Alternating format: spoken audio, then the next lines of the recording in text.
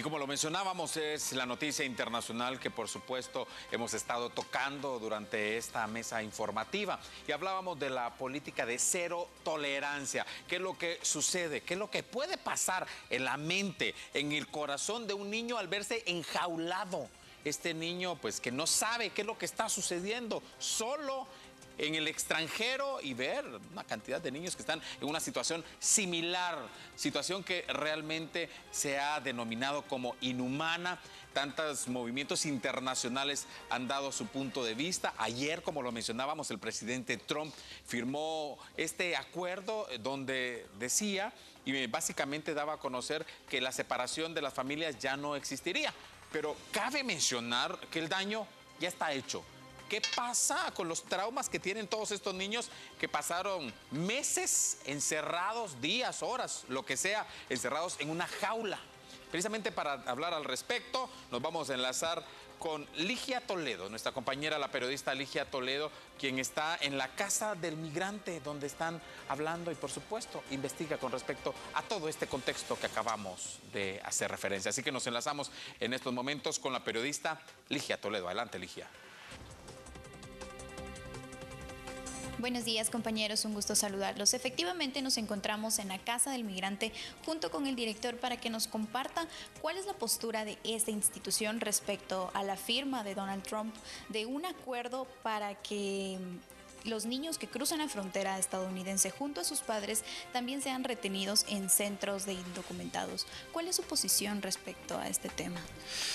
Bueno, primeramente tenemos que lamentar a, la situación que están viviendo los niños, niñas y adolescentes en Estados Unidos a partir del momento que Donald Trump toma la decisión de enjaularlos y separarlos de sus padres y sus madres. Y justamente esta es una violación al derecho superior del niño, niña y adolescente, porque en ningún país ah, se ha permitido hasta ahora a separar a, los niños de sus papás y ahora el gobierno norteamericano ha tomado esa decisión. Sin embargo, sabemos que últimamente, a partir de ayer, ha revocado la medida que había tomado. Sin embargo, sabemos que va a ser un problema muy serio intentar ahora reubicar los padres y las madres de sus niños y niñas. Y también nos preocupa que a partir de, esta, de esta firma, de este decreto, Ah, van a deportarlos de forma masiva. No se obedece el debido proceso porque justamente las restricciones que está teniendo el gobierno norteamericano en la frontera México-Estados Unidos son muy violatorias a los derechos humanos y que justamente no ha quitado ah, el problema de la deportación, porque toda, toda deportación antes de ser hecha, debe de obedecer el debido proceso.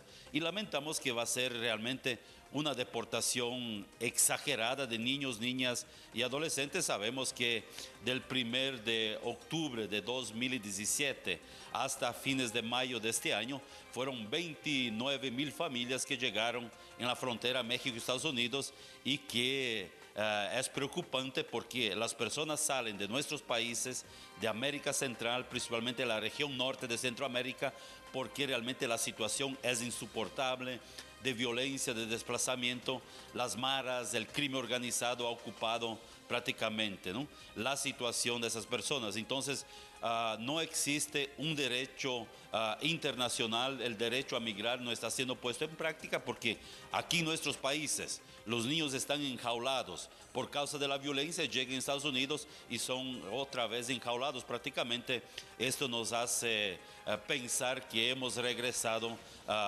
durante el periodo nace en la historia de la humanidad donde se criminaliza y se separa a las personas y se, y se mata a las personas también porque ah, tenemos el caso de, Claudia Gómez que salió viva y regresó muerta por esas medidas restrictivas ah, que el gobierno norteamericano está aplicando y justamente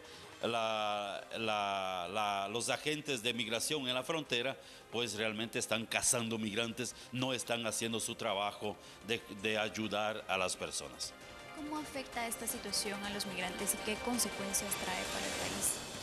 Bueno, justamente tenemos un problema muy serio porque muchas de esas personas deberían acceder al debido proceso para ser refugiados en Estados Unidos y justamente afecta al país porque el gobierno no está preparado para recibir, recibir esta gran cantidad y no hay oportunidades laborales y, la gran mayoría de estos niños, niñas y adolescentes, que creo que son uh, por ahí 600 niños, niñas y adolescentes que están detenidos y que realmente salieron por causa de la violencia por causa de la impunidad, por causa de la corrupción, porque no existen políticas públicas de respeto a la dignidad y los derechos humanos y el desarrollo integral de las personas. Porque muchos niños ya no pueden más ir en la escuela en este país porque realmente la violencia es terrible. Uh, el Estado está cooptado por las uh, bandas criminales. Imagínense la, la, las colonias, las comunidades que viven la zozobra de la violencia cotidiana.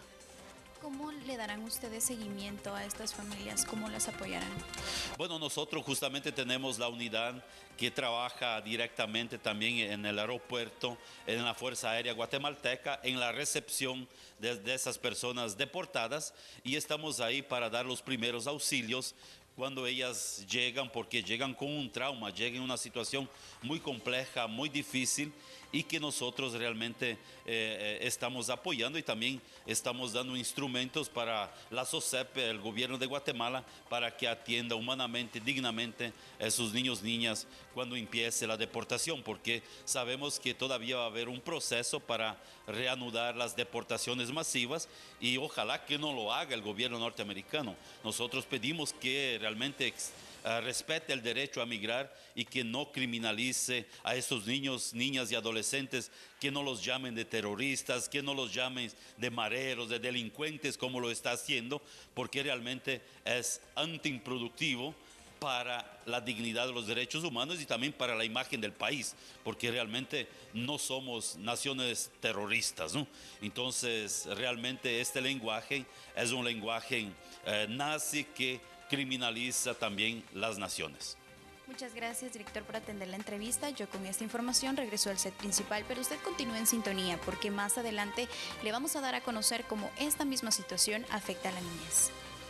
Gracias, Ligia Toledo, por esta información. Eh, definitivamente, así son las reacciones, diversas reacciones que se han ido dando en el transcurso de esta semana en relación a esta masiva deportación prácticamente la separación de niños con padres. Eh, estaremos abordando el tema en esta emisión donde ya tenemos una postura, donde el presidente Trump pues, da marcha atrás a esta situación para de esa manera también. Ahora la pregunta es cómo se van a volver pues, eh, prácticamente a reordenar estas familias, cómo se va a volver a unir al padre a la madre con sus hijos, en este caso ya que son pues albergues totalmente separados. De esto estaremos hablando en el desarrollo de esta emisión y vamos rápidamente a los temas que han formado la noticia en esta mañana.